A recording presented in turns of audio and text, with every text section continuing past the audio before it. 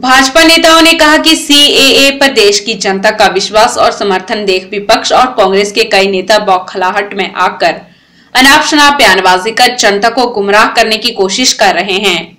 जिला अध्यक्ष बलदेव शर्मा, सुजानपुर मंडल अध्यक्ष वीरेंद्र ठाकुर व मीडिया प्रभारी विनोद ठाकुर ने कहा कि वह भूल जाते हैं कि भारत देश में रहने वाली जनता देशभक्त और समझदार है। जनता जानती है कि सी से किसी भी नागरिक की नागरिकता का कोई हनन नहीं होगा। यह बिल नागरिकता देने के लिए बना है। जिला अध्यक्ष बलदेव शर्मा ने चुटकी लेते हुए कहा कि कांग्रेस नेताओं को यह बात समझनी होगी, जो देश हित की बात करेगा, वही जनता के दिल पर राज करेगा और विरोध करने वाले कांग्रेसी नेता ना भूलें।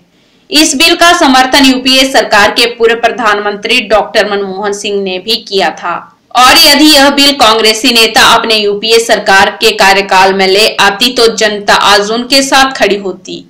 और उन्हें खुद की नज़रों में भी शर्मिंदा ना होना पड़ता। परंतु सिर्फ़ वोट की राजनीति करने वालों को देश हित से कोई लेना देना नहीं है। कांग्रेसी नेताओं को समझना होगा भारतीय जनता पार्टी और मोदी सरकार। जनता को दिए गए वायदों को पूरा कर रही है। पीआईटीवी के लिए हमीरपुर से ब्यूरो रिपोर्ट।